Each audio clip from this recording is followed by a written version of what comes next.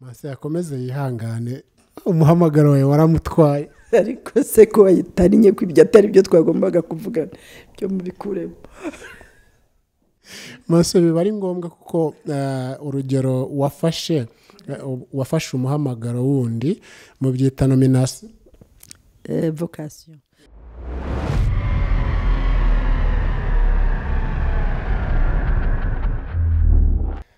abakurikiye izingiro turabasuhuje. Turi kumwe n'umwe mu bihaye imana babarizwa muri kiliziya gatolika tugiye kuganira. Ni ikiganiro kivuga ku mateka ya jenoside yakorewe abatutsi ariko turahera kuri we ku giti cye noneho tuze no kujya ku burambe bwiwe. Tuze no kugera ku burambe bwiwe muri mu burezi mu buzima butandukanye.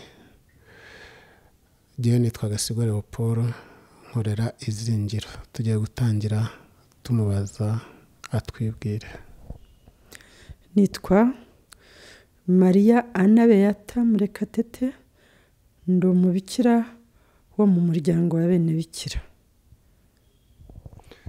Maso muvuka hehe mvuka mu majyepfo. Ubu ni mu karere ka nyaruguru mu murenge wa ngera kera mvuka hari mu karere ka bashumba nyakare.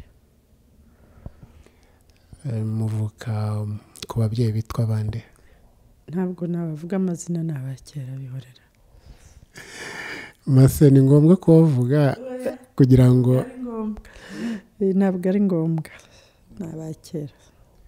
Mm, ubwoko bwa kera twari abashamba Mm, data yitwaga pangarasi ntazi mama yitwaga pasikaziya kamondo. Ntiwumva ko mufite n'ababyeyi bitwaga neza? Amazina ya kera. Mase wavutse ryari? Mfite imyaka mirongo itandatu n'icyenda navutse mu gihumbi kimwe magana cyenda mirongo itanu na rimwe. Mase ubiriyeho ariko ntabwo bigaragara. Biragaragara cyane numva amaze imyaka myinshi irenze iyo kubera ibyo nanyuzemo. Maseri murakoze. Ubwo mwakomeza mutwibwira eh, ibijyanye na edikasiyo aho mwize kugeza mubaye mu- umubikira Eh, amashuri abanza nayize icyo gihe hari misiyoni ubu ni paruwase ya nyumba. Hafi ya nyakibanda aho ngaho nyine navukiye. Ayisumbuye nyatangirira isave hafi ya butare misiyoni ya mbere yo mu rwanda. Nyarangiriza i nyamasheke Eh, ubwo narangije mfite impamyabushobozi y'icyo gihe bitaga deseti yari iyo kwigisha icyiciro cya mbere cy'amashuri yisumbuye. Narangije rero muri mirongo irindwi mu gihumbi magana cyenda mirongo irindwi na kabiri nta nubwo cyari igihe cyiza icyo gihe naho hari imvururu. Eh, kuki mwarangirije i nyamasheke kandi muvuka mu majyepfo y'u rwanda narangirije i nyamasheke kuko amashuri y'abakobwa yari matoya yari makeya kandi eh, iryo shuri ryaho ryari ishuri ryiza ryo kwigisha ku buryo bwisumbuye ubundi bigaga amashuri y'imyaka itanu. Igihugu niza y'imyaka irindwi. Byarimo inyungu. Mm, wigagwa utaha iwanyu mu rugo muri vakansi muri vakansi bigoye cyane kubera amayira yari mabi. Ariko ishuri ryari ryiza kandi ryari ry'agaciro kanini. Ishuri ryitwaga ngo iki mase ishuri ryitwa n'ubu riracyitwa ecole santa familia sainte famille umuryango mutagatifu. Ryayoborwaga n'ababikira b'abafransisikani bitwa abapenitanti ariko iry'isave ryo ryayoborwaga n'ababikira ba- bitwa ababikira bera blanche mase ubwo se um, warangije aho ngaho ujya kwigisha wigishije he bwa mbere? Narangije aho ngaho eh, hari hatangiye amashuri ya ya kaminuza yo ku y'inderabarezi yari ariho bagenzi banjye bayagiyemo njyewe nari nabonye diporome ya mbere ariko nagiye kwigisha iwacu inyumba muri mu mashuri abanza mpigisha imyaka itatu nyuma y'imyaka itatu nagiye kwigisha ahantu si ukwigisha gukora mu ishuri ryisumbuye ryayoborwaga n'ababikira abangaba ndimo hitwa imuramba muri ngororero. Ah, ubwo ubundi ko numva uvuga ngo iwanyu imyumba uravuga ngo iwacu inyumba wari umubikira icyo gihe? Oya nubwo nagiye kwigisha aho ngaho ntaraba umubikira ni byo nari ngiye kugeraho umuhamagaro wo kuba umubikira nawuboneye aho nagiye bwa kabiri nakoraga. Muri interina nayoboraga eh, eh, nari nshinzwe eh, imyifatire disipurine mu ishuri ryisumbuye ry'abakobwa aho ngaho i muramba. Nako si n'abakobwa gusa ryageze aho rizamo n'abahungu. Muramba muri ngororero. Ubwo ni mu wuhe mwaka? Ninjiye mu babikira. Oya- wayamwigisha aho ngaho. Nigishije nigishije kuva mirongo irindwi na kabiri kugeza mirongo irindwi n'umunani. Bwa mbere nakubwiye ko hari mu mashuri abanza hafi y'iwacu mu gice cy'iwacu. Aho aho ngaho mu mashuri yisumbuye nahavuye muri eh, muri nzeri mirongo irindwi n'umunani ari bwo nagiye kwinjira mu bihaye imana nyine mu muryango wa bene bikira isave. Ngiye kwitegura muri mirongo irindwi magana cyenda mirongo irindwi n'umunani. Mase umushahara wa mbere wahembwe yari amafaranga angahe? Ntabwo nkibyibuka ariko eh, nahembwe menshi kuko iyo mpageze baravuze abantu bakuru bari baranyigishije bahigishaga ngo nje gutwara umushahara ukubye kabiri wabo ndumva byari ibihumbi bitandatu kandi abandi bahembwaga kimwe bibiri bitatu. Kuko nari mfite amashuri maremare. Yari menshi rero. Bivuze ngo wahembewe diporome Eh, nahembewe diporome yanjye Mm, kari akazi ka leta nyine. Umuhamagaro se wo kuza mu kibikira maseri ubundi wagiye mu ishuri wagiye mu ishuri utekereza kuzaba iki? Wiga wumvaga ushaka kuba iki? Ntacyo nari nzi nawubonye nyine igihe kigeze muri iyo myaka itanu maze imyaka itanu nkora ni ho nabonye umuhamagaro wo kwimana wumva ushatse kuba umubikira numva ndabishatse ndabisaba. Nibo twakoranaga ubwo ngira ngo ni uko nari narabizemo ariko cyane cyane gukorana nabo ni imana imana yampamagaye icyo gihe. Nicyo bita vokasiyo taridive ni ukuvuga guhamagarwa ukuze utari ubifite mbere bibaho. Niko byagenze. None se mase ubwo guhamagarwa ukuze hari abasore mwiganye hari abo mwari muziranye ntawaguteretaga icyo gihe mbere yo kujya mu kibikira bari bahari ariko nyine nahisemo kandi ubwo n'imana yampisemo. Abo ngabo narabihoreye njya mu nzira imana yampamagayemo none nyisaziyemo. None se guhitamo nyine si ukuzinukwa? Ubwo nahisemo ibijyanye n'umutima wanjye iby'imana yari yanshatsemo kuruta ibindi. Mbihitamo birakunda birampira. Nshaka y'amata ndayabona. Akabazo k'amatsiko nta musore wari warahemereye kubera nk'umudamu uwo musore niba yari ahari byagenze bite duha ishusho uko byakugendekeye n'uko byamugendekeye. Eh, ibyo ntabwo ntabwo na- nabitindaho kuko eh, ni amabanga y'umutima. Wambaza ahubwo iby'ubu ngubu ndimo. Ah, urakoze manseri Eh, ubwo se uwo musore uracyamubona ubona ibyo byose murangana ni umusaza uracyamubona? Eh, hari si n'umwe kuko urumva iyo umuntu ari aho ngaho ari umukobwa ukiri mutoya aba abona benshi hari uwo mbona ngo ukuze kandi nawe wubatse. Mm. akora iki ubu ngubu? Ntabwo ibyo mbitindaho. Yarangije akazi none se umuntu ufite imyaka myinshi aba agikora? Ari muri pansiyo ndumva ndakeka. Mm. mase yakomeze yihangane. Umuhamagaro wawe waramutwaye. ariko se ko wayitarinye ko ibyo atari byo twagombaga kuvugana. Byo mubikuremo. Maso biba ari ngombwa kuko eh, urugero wafashe eh, wafashe umuhamagaro wundi mu byita nominasi vokasiyo ariko kuko ubishatse ukanabimbaza abo bantu ndumva ari nka babiri tukiri inshuti cyane ndetse z'amagara. Eh, ubwo wahinduriwe umuhamagaro nta cyatuma tutabivugaho kandi byarabaye kuko wabaye umwana urarerwa uriga aho hose. Wari ufite n'amahirwe yo guteretwa cyane ugereranyije n'abandi kuko wowe wari warageze mu ishuri wahuye n'abo mungana muhurira muri edikasiyo. Biratandukanye rero. Hari n'abo mu karere ka- twari twaranabyirukanye abo ngabo bose ntawe ari kure cyane muri abo twuzuraga ubu se nibabona iki kiganiro mbere yuko dukomeza? Nibabona iki kiganiro? Nicyo wababwira? Bande?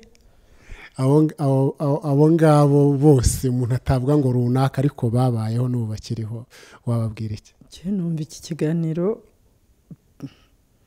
Atari bo kigenewe ntabwo ari bo. Bakibona n'undi wese akakibona ntibambwiye se ko kizabonwa n'abantu benshi kandi se niba ari ikiganiro ki- kigenewe abantu benshi nabo bakibona n'abandi bakakibona n'abanyeshuri banjye n'abandi twahuriye mu buzima bakakibona. Tumva nta nta mwihariko bawe bakigira ntayo wasuhuza byihariye? Nta ntawe. Mase murakoze kari agaciyemo ariko ubundi ikiganiro cyacu kirerekeza ku mateka ya jenoside yakorewe abatutsi. Mase icyo gihe ivanguramoko mu rwanda ryari ryaraje ryo kuvangura abatutsi mu mashuri. Weho wabarizwaga mu buhe bwoko? Eh, mu bwoko bw'abatutsi nabimenye nyuma kubera nyine iryo vangura. Kuko ndangije amashuri abanza ntabwo byari byabaho cyane. Ngo mbimenye nari nkiri umwana narabajijwe ndatsinda mpabwa ishuri natsindiye. Ariko nyuma ndangije ayisumbuye ah, habaye ibintu bikomeye cyane habaye ibyo bita umuyaga yo mu gihumbi kimwe magana cyenda mirongo irindwi na gatatu yarebaga abize amashuri n'abakozi b'abatutsi ku buryo n'abo twabyirukanye benshi babigiyemo abigaga bari bakiga muri univerisite barirukanwa no mu mashuri ah, yisumbuye no mu mirimo aho nari mukuru narabibonye. Kandi nanjye byangezeho kuko ntahawe icyo nari nkwiriye aba abo narushaga amanota bemerewe gukomeza kaminuza njye sinemererwa. Ni ibintu byagaragaraga. Kubera icyo utemerewe? Kubera nyine iryo vangura. Kubera ko wari umututsikazi eee ubwo ngira ngo niyo mpamvu. Nako ni na yo ubundi iyo bareba iyo leta itanga buruse ireba amanota. Icyo gihe rero siyo baruye. Barebaga iki umwana w'uyu munsi wa none baba bawigisha baba abandi bazakurikira iki kiganiro? Bakurikizaga iki kugira ngo umuntu ajye mu ishuri icyo gihe? Mm, muri icyo gihe guhera muri mirongo irindwi na gatatu ku ngoma ya habyarimana ariko ndetse na mbere bakurikizaga nyine ayo moko ko umututsi yahezwaga. Ntabone umwanya mwiza. N'abize bashoboye kuba babize. Ndetse no mu gihe nari ndangije icyiciro cya mbere abenshi bahawe kwiga bigufiya kwiga eh, ni na segonderi ituzuye. Kugira ngo bazajye kwigisha abana ba- bacikize nyine amashuri. Ntabwo bashoboraga guhita ngo batambuke bige kaminuza bazagere kure. Ni nk'ibyo twakwita shoti kosezi uyu munsi wa none. Oya ni ibi- ni ibintu by'icyo gihe. Eh, uburezi bwagiye buca mu bintu byinshi. Hari igihe batangaga diporome bitaga y'imyaka itanu ni ukuvuga babaga bize toronkome niko bayitaga ukongeraho ibiri.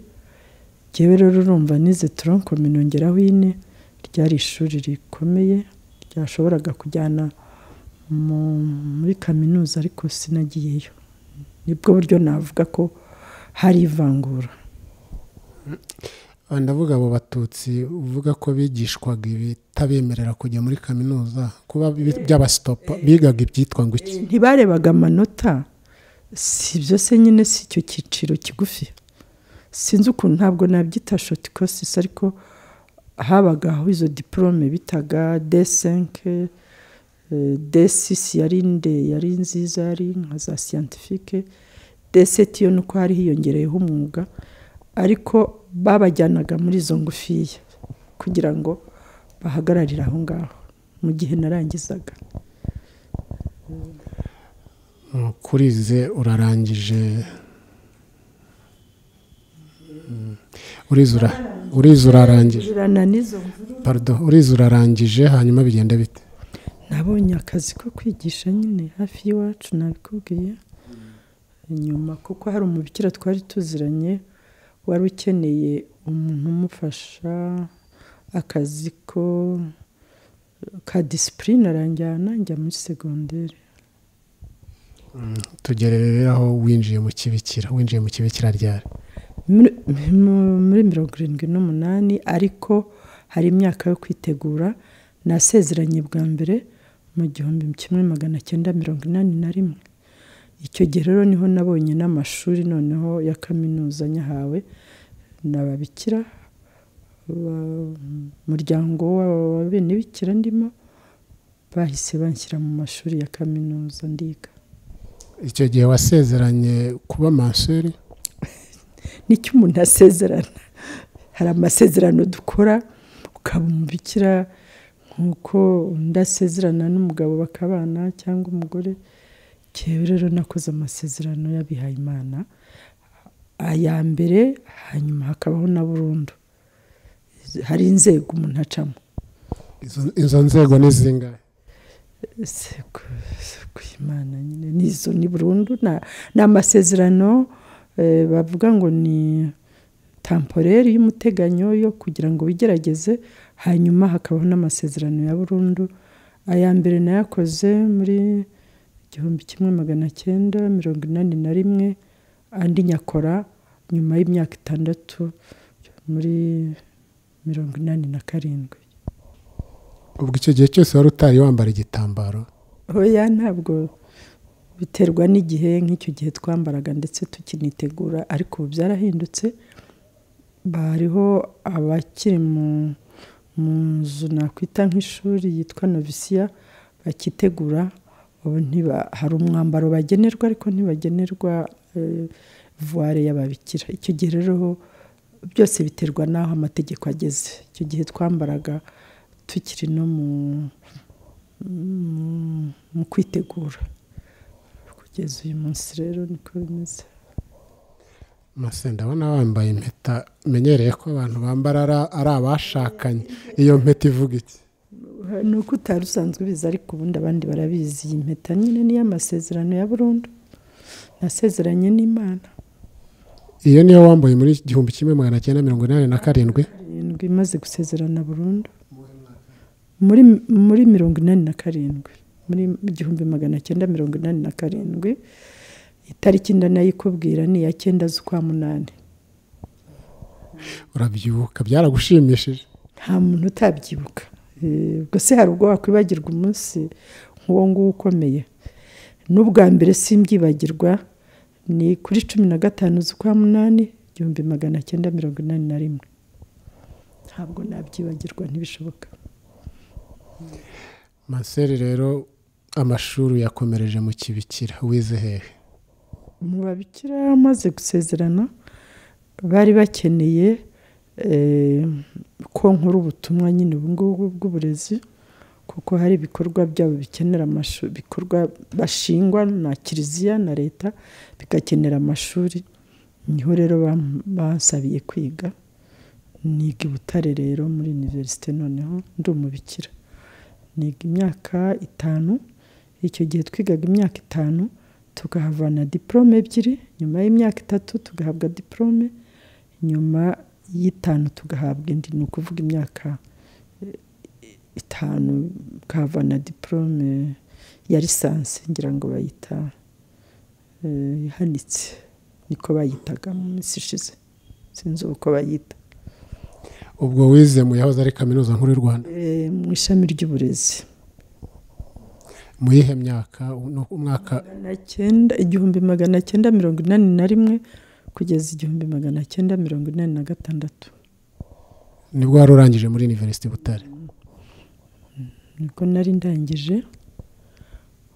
Nkomeza rero mu mirimo mu butumwa niko tubyita kuko aho bakujyanye ni ho ujya ugiye gutumikira imana mu murimo ukora kugira ngo abantu bamenye imana. Nahawe rero ubutumwa ikibeho icyo gihe bari bakinabonekerwa muri iriya shuri ryitwa meri diverbe mpamara imyaka ibiri mpava njya imuramba hamwe nahoze nkubwira nahamagariwe bwa mbere. Nahakoze kuva mirongo inani n'umunani mpava muri mirongo cyenda na kabiri. Iyo myaka ya mbere itandatu nafashaga nari ishinzwe amasomo nabaga ndi umuyobozi ushinzwe amasomo ariko muri mirongo icyenda na kabiri nahawe ubutumwa bwo kuyobora ishuri ryisumbuye ry'isave ryitwa ecole sainte bernadette. Groupe scolaire sainte bernadette hanyuma muri sainte bernadette wahavuye ryari? Nakoze kuva mirongo icyenda na kabiri magana cyenda mirongo icyenda na kabiri kugeza mu mwaka wa bibiri na kane. Nahamaze imyaka cumi n'ibiri. Muri mu rwanda icyo gihe hari ivangura ry'amoko abatutsi barahezwaga haba muri segiteri pirive haba muri leta. Mu bihaye imana aho byari bimeze bite? Mu bihaye imana ntabwo byari bihari. Mu muryango wacu nta byari bihari. N'ikimenyimenyi mba banyohereje kwiga ndetse njyana n'undi mugenzi wanjye umututsikazi icyo gihe abakobwa ntibari batangira kujya biga kaminuza ariko twe twarigaga. Rero mu bihaye imana nta vangura ryahabaga mu muryango wacu wa bene bikira. Buri wese bamufataga bakurikije icyo ashoboye bakamuha n'ubutumwa bakurikije imirimo ikenewe n'ubushobozi abifitiye. Nta vangura nahaboneye. Ngo abihaye imana ariko ngo mugire amabanga cyane. Ushobora kuba wenda ubahishiriye. Ntabyo mpishiriye ni ibindi ku mutima. Ni umuryango mwiza wampaye ubushobozi bwinshi icyizere urukundo ubutumwa. Ni umuryango mwiza wanjye. Nshima cyane. Kandi nshimira. Bikuye ku mutima. Hanyuma rero muri bibiri havuye nyuma ya jenoside yakorewe abatutsi. Hagati aho ngaho icyenda na kane yarageze. Nk'umututsikazi byakugendekeye bite ko nawe wari kuri lisite y'abahigwaga? Habaye nyine jenoside habaye naho ngeweho navuga ko bananshakishaga kubera ko nari muri uwo mwanya ukomeye kandi hari n'ikintu cyabikajije. Umuntu wayoboraga ubwicanyi aho ngaho narindi yari umugabo twiganye. Ni imana rero ni nk'igitangaza cy'imana kuba nararokotse. Ariko icyo gitangaza cyaciye ku bantu ni byo nkubwira ko mfite umuryango wabihaye imana mwiza nabayemo natowemo byatewe n'uko mu muryango tutivanguye umwanzi aradushaka aratubura twese twari hamwe hari n'abantu benshi hari ababikira bari bakiri bato ni ahantu dufite dukorera amahugurwa bari benshi. Bashakishije kuducamo ibice no kugira ngo bavangure biranga ni ho imana yaturindiye muri uko kubana neza no kutitandukanya. Uwo wayoboraga ubwicanyi yitwaga nde? Wayoboraga ubwicanyi yitwaga eh, yitwa francois ndayisenga. Mm, byarananshakishije ku giti cyanjye ariko imana ikinga ukuboko nyine binyuze ku ku bavandimwe banjye mu muryango ndetse hanarindiwe abana bamwe bo mu muryango wanjye bam- bampungiyeho n'ubu bariho. Uwo yakoraga iki? Wayoboye ubwicanyi umwarimu wo muri univerisite yari umwarimu wo muri univerisite wo muri kaminuza ishami ry'inderabarezi ryari ryarimukiye mu ruhengeri ariko kavukira ari save. Aza rero kuza bari barahungiye kuko muri icyo gice ku musanzu ubu ruhengeri icyo gihe kampisi ya ruhengeri bari barahavuye nyine kubera iriya ntambara yo kubohoza u rwanda. E, aza aje iwabo aho ngaho hafi yanjye aho twari duturanye ni ho yari ari. Utekereza ko ari iki cyatumye agushakisha akakubura? Nuko ariko byari bimeze. Yari kurorera se kandi abantu bose baragombaga ko ariko jenoside yari iteguwe. Jenoside yari iteguwe ko nta mututsi usigara kandi jyewe yaranzi kandi nari mfite n'umwanya mu ishuri rimuri hafi ndumva ari ibintu umuntu akurikije logike ya jenoside byumvikana ntagomba gusobanura. Ubu ngubu aba hehe? Ntabwo mazi duherukana icyo gihe ahungana ko tubohorwa ku itariki ya ku itariki ya mbere z'ukwa karindwi muri mirongo cyenda na kane. Sinongeye kumenya amakuru ariko ntabwo ari mu bantu baciriwe imanza. Hanyuma umuntu wayoboraga bene bikira isave aho wabaga yari umuhutukazi yari umututsikazi? Icyo gihe? Ntabwo ari umwe tuyoborwa n'umuntu umwe ariko aba afite icyo bita ubu bodi eh, icyo twita conseil general ariko uwari uyikuriye icyo gihe ari umututsikazi Yungi- abari bamwungirije hari harimo abatutsikazi nawe yari yihishe iteka baba bavanze ku buryo bw'umuryango bareba iyo dutora ntabwo tuvangura. Haba harimo abatutsikazi n'abatukazi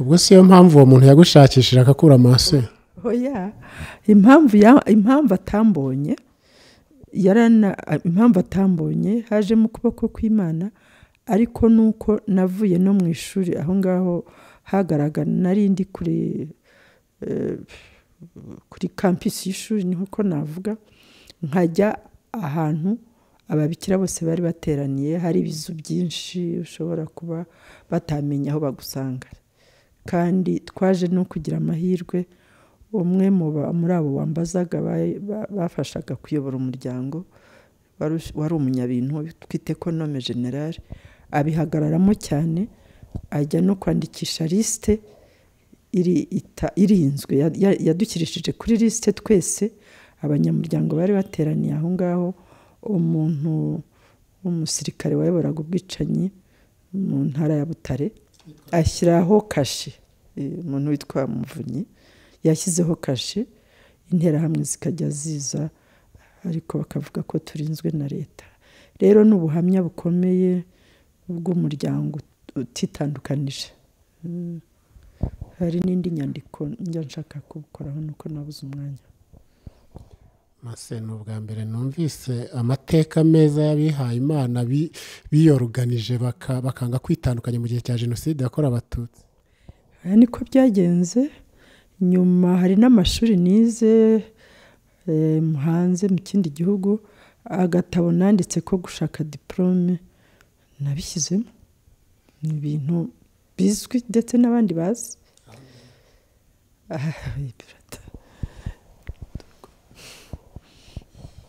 Aho wize ayo mashuri ni he mase igihugu cyo hanze kitari u rwanda.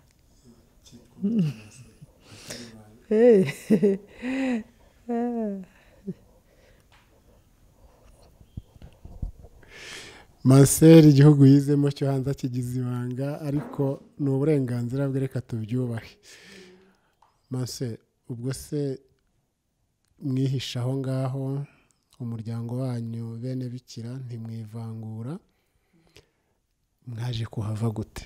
He twahavanywe n'inkotanyi ku itariki ya mbere z'ukwa karindwi twahamaze amezi menshi badusahura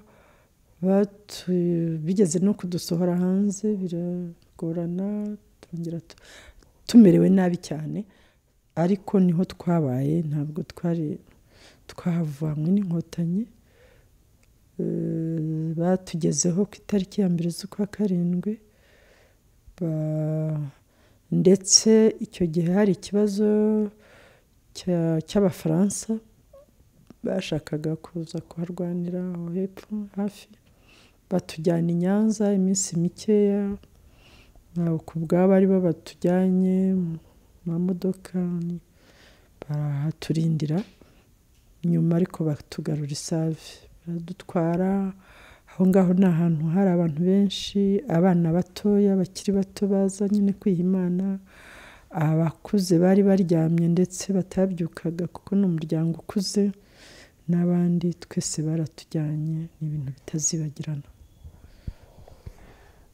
Iyo shusho ndumva ari ishusho y'ibitangaza gusa.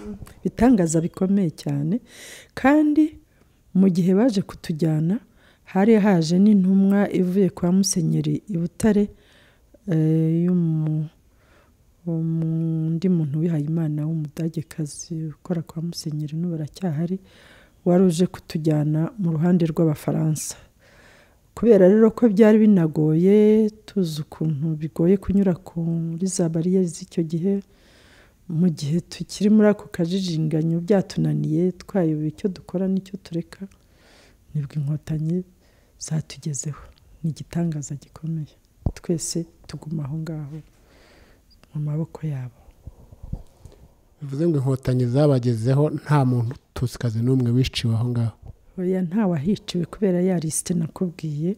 Umwe mu babikira bacu yagiye tu- tuvuga ko yatuguze amarira kuko yagiye bashakaga ko dutandukana ubundi tuba mu ngo zinyuranye.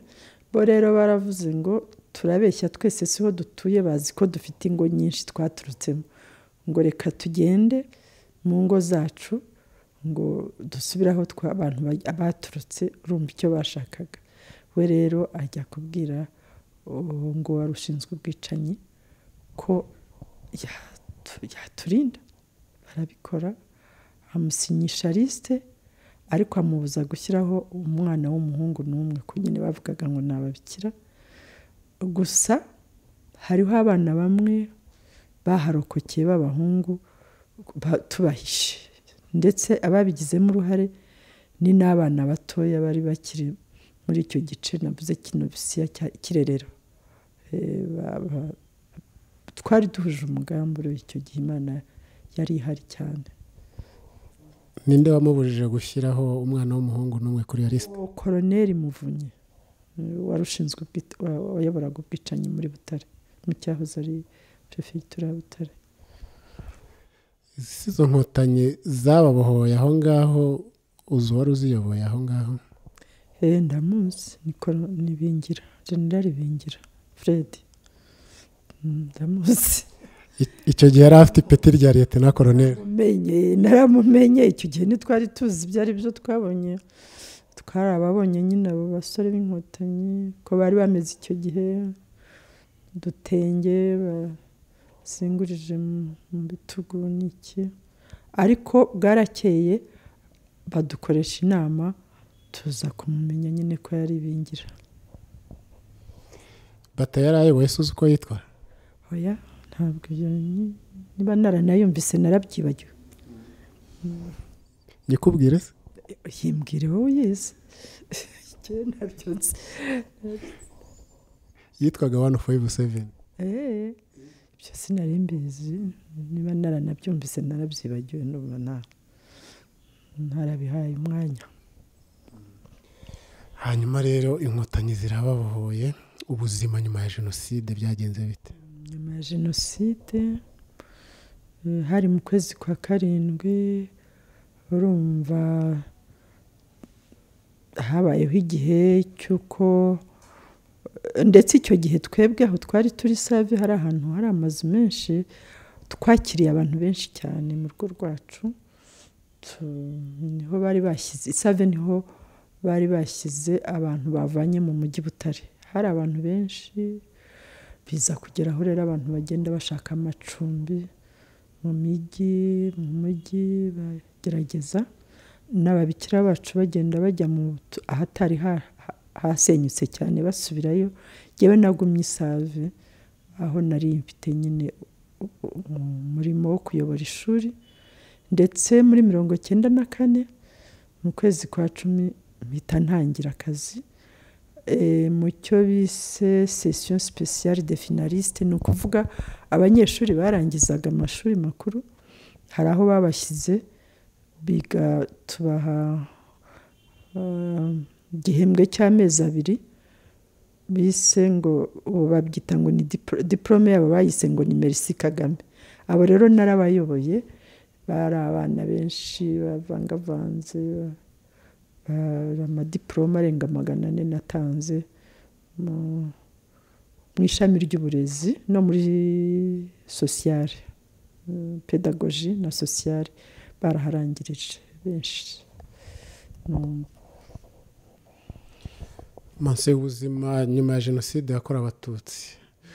Uh, ubusanzwe uri umurezi kuva kera na n'uyu munsi kugeza n'igihe tutazi. Ariko umwana hari igihe akosa. Iyo akosheje ni ibisanzwe. Hari etape hari ibyiciro by'ibihano ushobora kumuha. Muri ibyo byiciro by'ibihano hari n'igihe ushobora kumutuma umubyeyi. Nyuma ya jenoside yakorewe abatutsi abana bari barokotse jenoside bariciwe imiryango. Iyo bakosaga mwabyitwaragamo mute. Usibye ibyo gukosa umurimo w'uburezi nyuma ya jenoside wari unyuranye n'uw'ubu ngubu. Abana bose bari bafite ibibazo bikomeye. Sinanavuga abarokotse gusa abarokotse bari babifite kuko batari bafite imiryango ibitaho bakomeretse ku mutima no ku mubiri ariko n'abandi bari mu rwanda nabo bari bafite ibikomere n'ipfunwe ry'ibyabaye n'umujinya. Hari n'abandi bana twari dufite bari bavuye hanze bahungutse bari mu bukene badafite ababyeyi babo badafite aho baba abantu ba- bafite imico inyuranye. Bavukiye n'aho barerewe. Yari intambara mbese ikomeye y'uburezi. Ntabwo byari byoroshye kubahuza bose no kubagorora no kubanyuza mu nzira nziza no kubaha uburere no kubumvisha ko bahangana n'ubuzima bakiga kugira ngo bazigirire akamaro. Yari intambara ariko yarashobotse kandi yarangiye neza. Ntibyari byoroshye na busa. Icyo kibazo nari mbabajije. Ikibazo rero wari ubajije nagishyira muri rusange ko abo bari bafite icyo kibazo gikomeye cy'uko ntiwari kubatuma ababyeyi kandi batabafite ahubwo wagombaga kubabera umubyeyi uko ushoboye yakosa ukamuhana kandi mukabyumvikanaho byanze bikunze ko agomba kubaho kandi akazigirira akamaro ndumva ari cyo nagerageje kandi byaciyemo. Mase hari nk'aka y'umwana waba wibuka utari ushobotse ku buryo wa- wavuga uti uyu nguyu ndamwibuka byagenze gutya na gutya ariko ku bw'amahirwe bigenda gutya nyuma arakura aba umugabo cyangwa aba inkumi. Kanibuka ni nyinshi cyane. Iyo abantu bahagaze neza mu buzima hari n'abahahamukaga ngo ni ihungabana nako. Hari n'abo eh, ubwo ushaka ka imwe nakubwira imwe kuko twongeye guhura kandi neza. Uwo nguwo nta nubwo yari afite yari yaracitse ku icumu ariko afite ababyeyi. Rero disipurine yaramunaniye turamwirukana tumubwira ko adashoboye gukomeza mu ishuri ryacu. Aragenda aza gushaka amashuri inaha i kigali arayarangiza agenda arakaye akajya avuga ngo aza ngonga kuko yari afite imodoka ababyeyi be bari bararokotse ariko bifashije. Nyuma rero igitangaje ni uko ahangaha ndi yaje ahashakisha kugira ngo hashyire abana be bahige. Byose urumva atari byiza? Kandi nawe nabonye nu- n'umugore we bari bariganye ndetse. Uwo mwana se yari akikwibuka? Ni umuntu wa hafi. Eh, ni umuntu wa hafi dusanzwe tuzi n'umuryango dusanzwe tuziranye na nyuma twakomeje kubonana. Bukeya ariko. Gusa nari nari narabyibagiwe nabyibutse azanye abana be kwiga ahangaha yabyaye nawe. Kandi yabaye umubyeyi mwiza. Mase ni iki kintu cyakubayeho muri jenoside ushobora kuvuga utumva iki kintu sinzakibagirwa icyambayeho muri jenoside ntazibagirwa? Mm, jenoside ntabwo nayibagirwa. Kubura hari ikintu cyo kubona abantu bose bashize imiryango yashize ugasanga ari wowe wenyine mukuru mu muryango. Kandi mfite n'izo nshingano ngewe ntabwo nari mfite inshingano zo kurera abana ba bene wacu b'abavandimwe banjye sinari mfite. Inshingano nari mfite kwari nko kubafasha kubona amashuri kuko nayakoragamo. Na- nayabona sijye wayarihaga. Icyo rero ni ikintu cya navuga kitazibagirana muri jenoside muri egisperiyanse nakoze. Noneho jenoside irangiye ufata inshingano zo gushaka amashuri no kuyishyura. No ku- no ku- kwishyuraho ntitwishyuraga bose ntibishyuraga.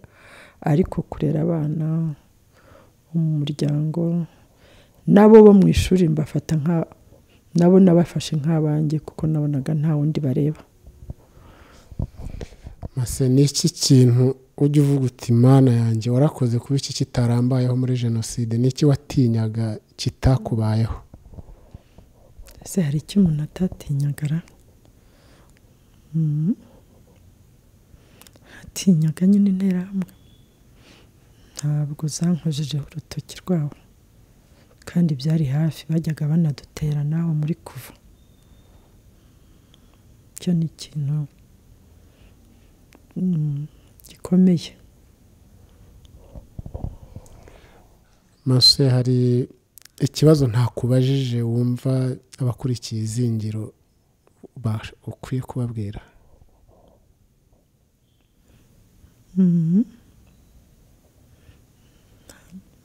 Wowe ukizi hari. Icyo wumva wasize washakaga. Mase icyo numva nashakaga kubaza umuntu wese yagirira amatsiko. Jenoside yakorewe abatutsi habayeho viyore ishingiye ku gitsina. Kandi yifashishijwe nk'intwaro ya jenoside gukora jenoside. Byari bimeze bite? Abantu b'abakobwa mwabaga mu kigo mwenyine interahamwe ntabwo zigeze zigira iyo tentative. Ntabwo byashobotse kubera ko eh, nakubwiye ko ukuboko kw'imana kwahabaye ntibigeze binjira mu kigo ngo bagire batugirire nabi twebwe. Mm, imana yarahahagaze ntiba bajyaga bagerageza kuza ariko bagasubizwayo ni ikise n'imana kuko ndibuka bari baradusahuye ariko igihe cyose baje umubikira wari ushinzwe ibintu yabonaga iby'abahunga bakagenda. Ntabwo rero iyi egisperiyanse twayigize twebwe ariko nzi ko ari ikibazo gikomeye cyane abandi bahuye eh, muri uru rwanda bahuye na cyo. Dusubiye inyuma gatoya ku bijyanye n'amashuri mwanyuzemo. Fakirite mwize niyo mwifuzaga kwiga. Kubera ko nagiye kwiga ndi umubikira kandi nkaba nari nari umurezi nahisemo ry'uburezi by'uburezi kandi numvise byari bijyanye nyine na n'ubutumwa bwinshi tugira mu muryango nta kibazo byanteye. Nari mbikunze kuko n'ubundi ari byo nari naratangiriyemo. Wagiye mu kibikira ufite imyaka ingahe y'amavuko? Imyaka makumyabiri n'itanu. Ndetse n'itandatu nari natangiye uw'itandatu. Ari mukuru. Iwanyu mwabyumvaga kimwe? Mhm, nta kibazo. Ntawanteye ibibazo mu byo kujya kwiha imana nari narafashije urumva namaze iyo myaka nkora nkorera umuryango. Kera twubakiraga ababyeyi tukabavana muri nyakatsi. Nari narabikoze nta barandekuye nta kibazo byateye. Bari n'abakirisitu beza. Kujya mu kibikira eh, mu byo begzija. Harimo no kujya muri isugi Eh, cyane. Ese wanatinyuka. Ntabwo byakunda. Keretse mu miryango y'abazungu ngo bajya bakira abapfakazi eh, nabo ubwo hari kondisiyo babashyiraho. Ariko twebwe kugeza ubu ntabwo turakira abapfakazi. Abakobwa rero baza ubu noneho turi no mu mahanga yandi bagomba kuba ari amasugi kuko ntibabishobora. Ni ni navuga se ngo iki kwiha imana ni cyo bivuga? Mase ku myaka makumyabiri n'itandatu yawe wagiye mu kibikira wagiye muri Pare- none se nari kugenda? Sinkubwira ko ntari kugenda si yo biba kandi icyo gihe ni kera ntiwabigereranya n'ubu byari bisanzwe. N'iyo njya gushaka niko byari kuba bimeze. Ahari ubu simbizi ariko ku gihe cyacu byari bisanzwe. Byari no mu muco nyarwanda.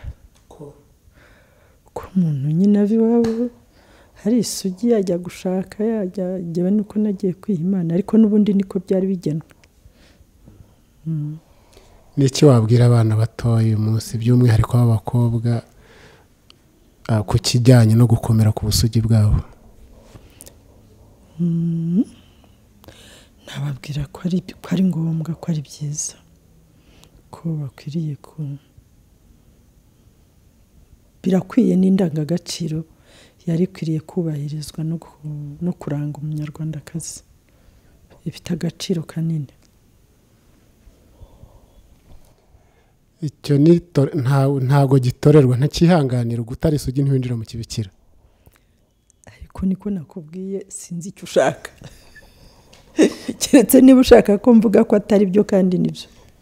Kuko kwiha imana ni cyo bivuga ni bwo ni bwo buryo nyine.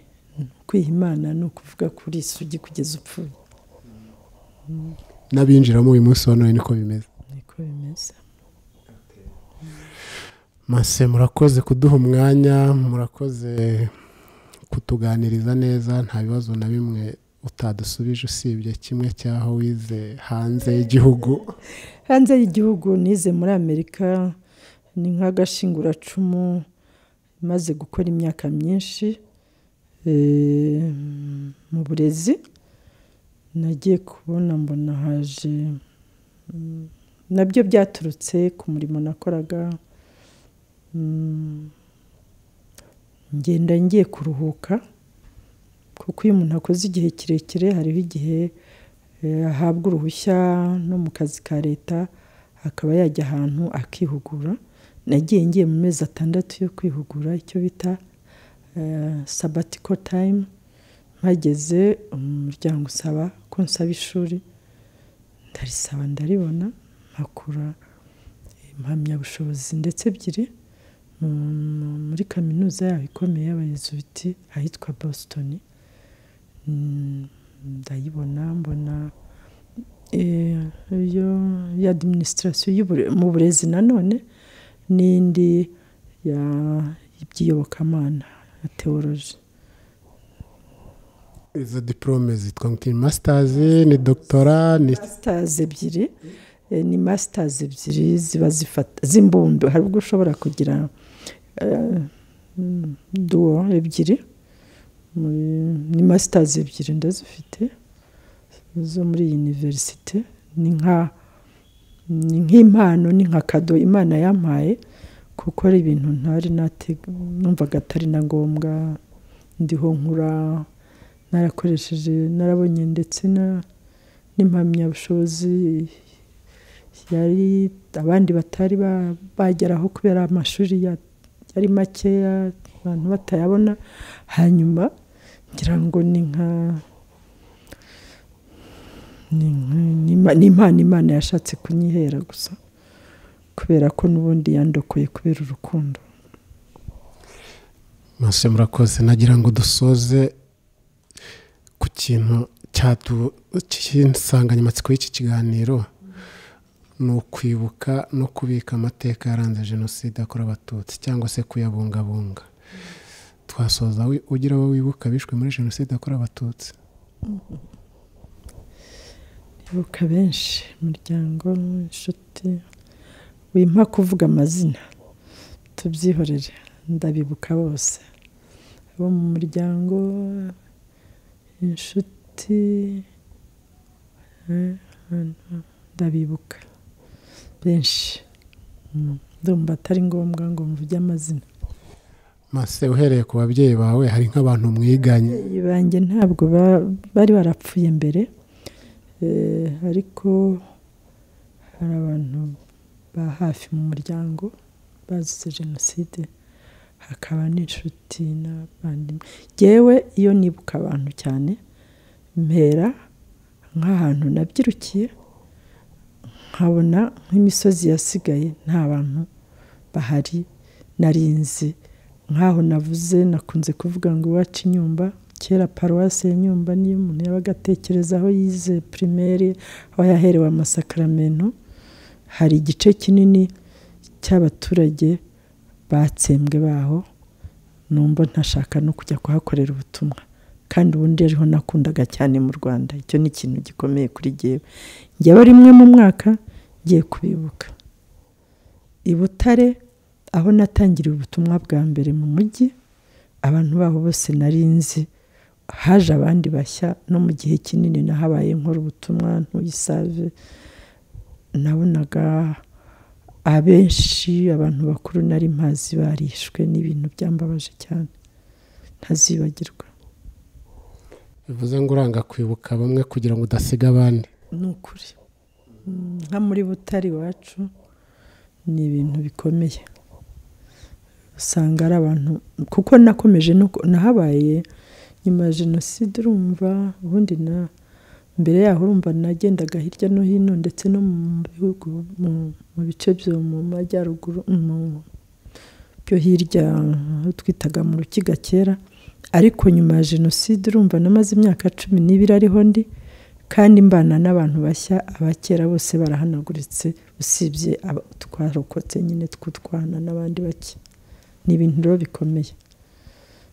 Sinagira n'abo nibuka koko ngo mvuge amazina kuko nabansize abandi benshi.